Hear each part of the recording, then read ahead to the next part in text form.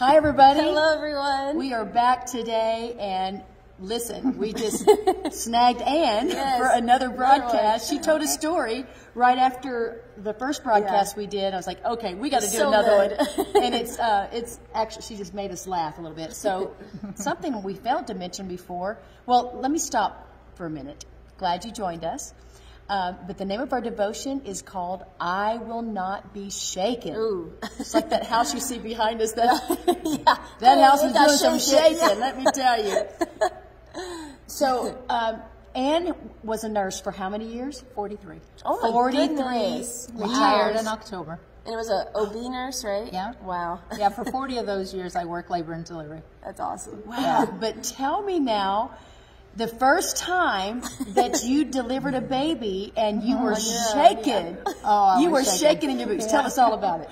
So, uh, yeah, I was I was just 20, just barely 20 Wow. when this woman came in. I'd only been working on my own after orientation, maybe three, four months. So, seen babies been born, never did it myself. So That's a big deal. yeah, it's a big Yeah. deal. But but she came in and um, she was completely dilated. She was ready to go. Baby was right on the perineum, and it was like, okay, I'm gonna gonna have to do this. Get my big girl panties on. Let's do this. That's what we're gonna do. So anyway, so I put on my gloves, and there we are standing, and. I'm just shaking. My legs are just show us how. quivering, and I was just like, "Oh my goodness, how am I going to do this?" And this lady looked at me and she says, "Have you ever done this before?" And I'm like, bulled out. I just lied. Oh yeah. Oh, I, oh yeah. I've done this. And she's looking at me like I'm a teenager, and I knew I looked like a teenager. But, uh, like, oh, okay. So anyway, the baby came out, and everything was well, and all. And afterwards, she said, "You never did this before, have you?" Said, no, but I knew you had, so I knew it would be okay, and so yeah, it all ended up okay. The way that- Wow. that- yeah. So let me ask you guys something. I know most of you, if you've lived long enough, you've been shaken. Mm-hmm. Oh yeah. You know, so when you're when you're shaken, a lot of times we hear, you know, earthquake, you think mm-hmm. shaken. Yes. You know, mm-hmm. and it's always unexpected. And so when things happen to you, it could be that call in the middle of the night, three o'clock in the morning, that, and then you start you start shaking internally, mm. and you know you're you're just for that moment you feel paralyzed and you just like you can't move. Tell us like it was uh, the Elvis Presley thing. Oh yeah, song. that song that says my legs are shaking and my knees are weak. Yeah, and Yeah. That, that's what That's happens. the way it was when I was catching that baby. Yeah. So, but we can become like that and not knowing what to do. Right. Um, Psalm 62, 1 and 2 says, Truly, my soul finds rest in God. My salvation comes from him. Truly, he is my rock and my salvation. He is my fortress. I will never be shaken. say that, I I will, will never be shaken. never be I will never be Never. How could he say that, Jasmine? Because when you put your full trust in God, you don't have to worry about shaking because He's got it. He will hold you still and take care of you. Uh-huh. There's that holy ease, mm-hmm. even in the midst of trials. Right. Um, if you've ever experienced that, it's like a peace that comes Yes. over you. And that's when you know it's God. Is when Yes. you when you can have Yes. that peace. And you're like, I should be freaking out and losing my mind right now, and I feel this calmness, and it's it's God. Uh-huh. It is Absolutely. God. So, um, Anne, I want you to tell us a, a time in your life when uh, you had a, a precious little one um, that you just made up your mind. I'm, you know, you weren't shaken you, you- at first, but then it's like you grabbed it all back and, s and knew that God was in control. Yeah. Can you tell us about that? Well, that would be about the, the story about Emily when Emily was born. Um, she was one who, who I was eight months pregnant with her, and a lady in church came up, and she was shaking, and handed me a piece of paper and said, "God told me to give this to you." And on that one was that scripture, Isaiah 41, 10, Wow. that said, Do not look around you in terror and be dismayed, for I am your God. I will be with you. I will strengthen you to difficulties. And I didn't know then that Emily had Down syndrome, but when she was born, then I was shaken Mm. to my roots. Okay. Because it was like, what do we do now? How do we do this? What's going to happen from there? We're going to show you a precious Yes. picture. You just want to love her. just want to love on her. there. Is she precious? Adorable. She's signing "I love you" in that picture. Oh, look at her oh, hands. Look at her little hands. That's, that is Wow. precious. Yeah. Now, but then you talked about God being there for you. Right. Well, there was a lot of grief that went along with that because I didn't get what I expected. You And was know, your it was child? that was my second. Oh, I had a son, um, but you, not knowing that you're going to have a child with a disability, and all of a sudden you're given this child. So Mm. there was a lot of grief that went along with that. The night after she was born, um, I went and sat in the shower. I sent everybody home. Everybody go away. I got to go do spend some time with God. So I sat in the shower and I was there whew, an hour and a half or so. But we wrangled. God and I wrangled a lot that mm. night, just trying to bargain, trying to mm. trying to figure out what we're going to do. And when I came out, I, I pretty much was like, okay, God, this is what I got. This is how I'll do. You'll help me, and we'll go on from that. Now, mm. she was just a little angel, though, right? She was. She was a hoot. She was, she was a hoot. yeah.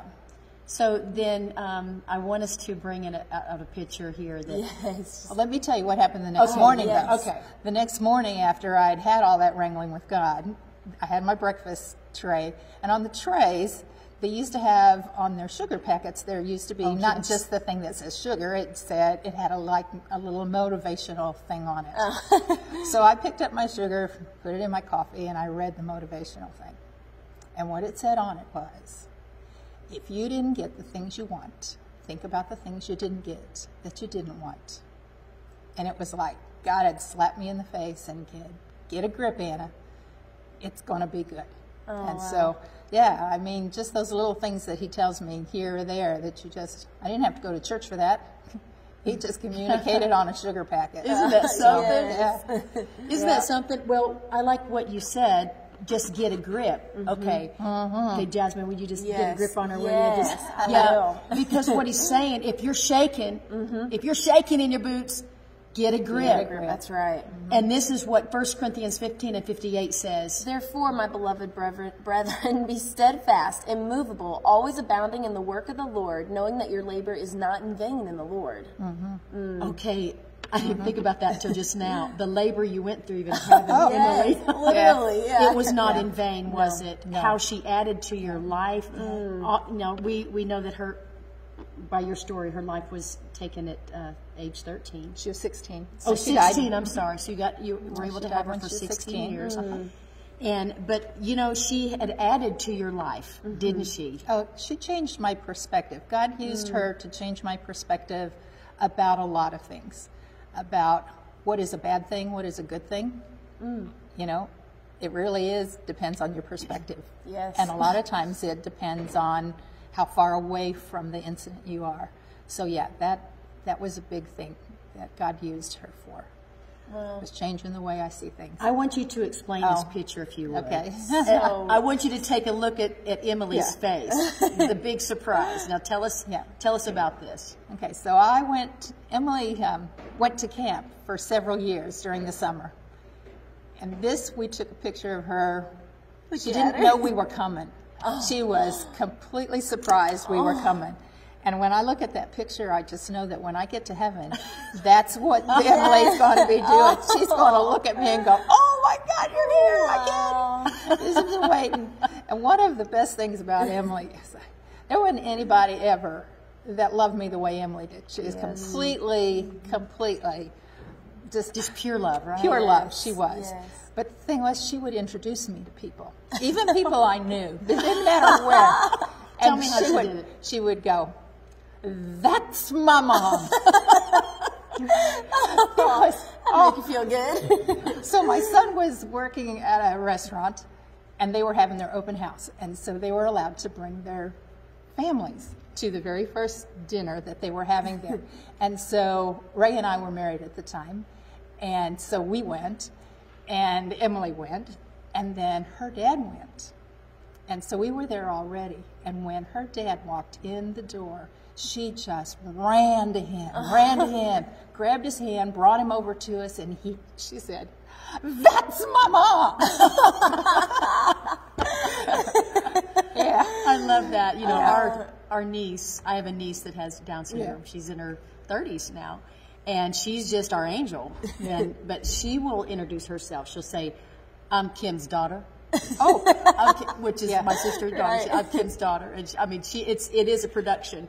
You know, so yeah, what we can learn, you know, from mm. that. Oh, and, yeah. and so it taught you, oh, even in that time, when you are shaken, get Right, that get grip, grip. hold on to the one that's holding on to you. That's The right. Yeah. grip of God. Yes, the grip grip, of his God, hand. Yes, because he's holding on to me. that's mm. right. He's he is holding on to you. Yeah. So, Anne, would you lead us in prayer today and just um, that assurance that you, I mean, you've walked through it, Yes. and and you know what it's like for God to bring that that calm, that mm. you know, that peace, that overwhelming peace when you were shaken mm-hmm. because you got a grip and you got a strong mm. hold of His hand. Yeah. Father, thank you for loving us. And Yes. thank you, Father, for always being with us. Your word says, I will be with you every day, even to the end of the oh, age. Yes, and Father, I thank you that we have that assurance. I thank you that you love us and that you'll always be with us. In Jesus' name. Mm. Amen. All right, thank you for joining us today. God loves you. We love you. And, Have a great rest of your day. All right, bye-bye. Bye.